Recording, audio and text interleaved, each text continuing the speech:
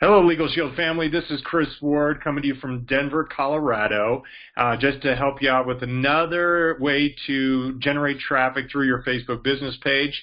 A lot of individuals are get hung up right here on their action button.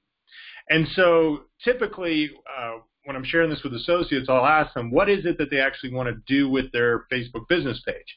Uh, some people want to focus on the Legal Shield Business Solutions division. Some people just want to market the product in direct sales. Uh, some people want to focus on identity theft. Uh, other people want to make it kind of a recruiting page.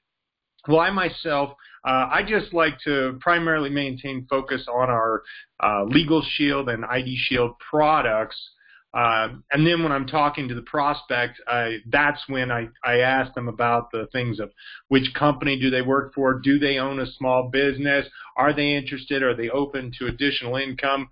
So I really take each prospect on a case by case basis. But what I want to do is show you how to edit this because a lot of people, um, they have it set up because you can edit your button to do a, a, a, lot of different things. So I'm going to go uh, back and show you what the options are, and then I'm going to show you what I did with mine. So you can have book services uh, where people can schedule appointments, which is very uh, uh efficient if you are somebody that uh, is like a hairstylist, a nail technician, massage therapist, somebody where your job is based on your availability. So the other is get in touch.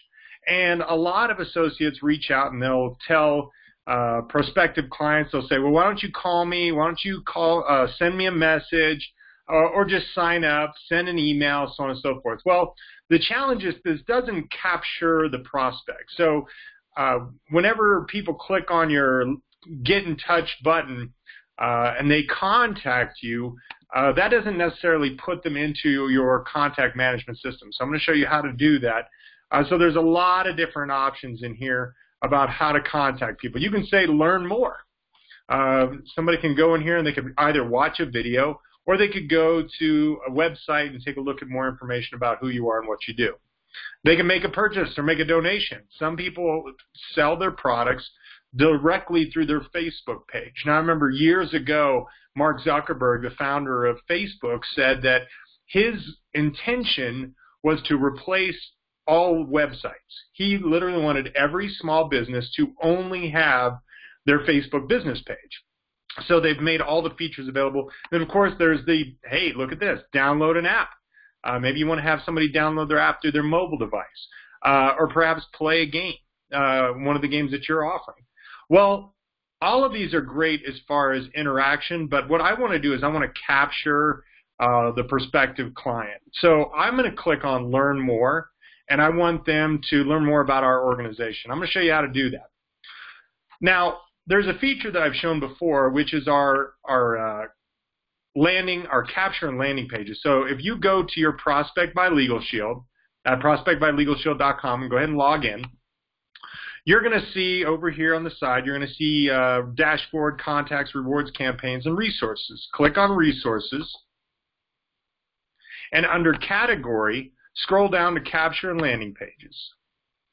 Now, as you recall, I said, what would you rather do? Would you rather sell somebody a membership or recruit them into your business? Well, when you look at all these, uh, pretty much all of these cat landing pages are only dealing with recruiting. There's one, however, the benefits of a Legal Shield membership that I'll actually plug them in to a membership overview.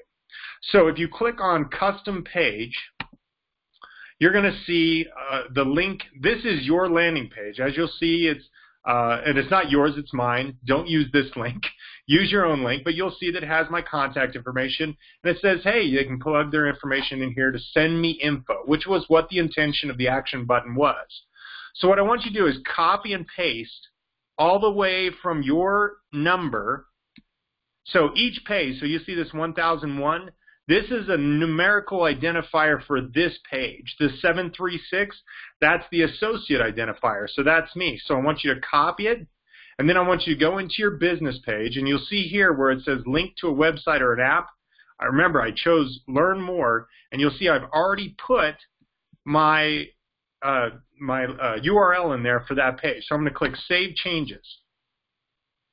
So you've updated your Learn More button. So when you click on Learn More, you'll see that it says Test button. So when you see this, this is through your Edit Management system. So you can edit the button, you can view insights, help people learn more. Uh, typically, that means that you're going to boost or run an ad campaign, but we're not going to do that. We're just going to leave it here. So you can test the button just to make sure that it works, and you'll see that when your prospects click on that Learn More button, it's going to take you directly to the landing page.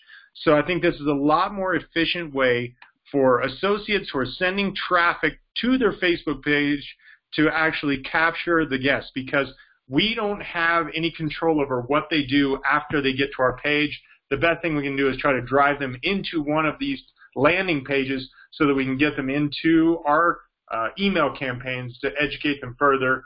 Uh, just another tool in the in the toolbox for those of you that are leveraging your Legal Shield business page through Facebook. So thank you all for your uh, for your time. Uh, feel free to uh, like this video, subscribe, and then share the video with your team if, for those that are actually using Facebook Business. Thank you all very much for your time, and this is Chris Ward signing off.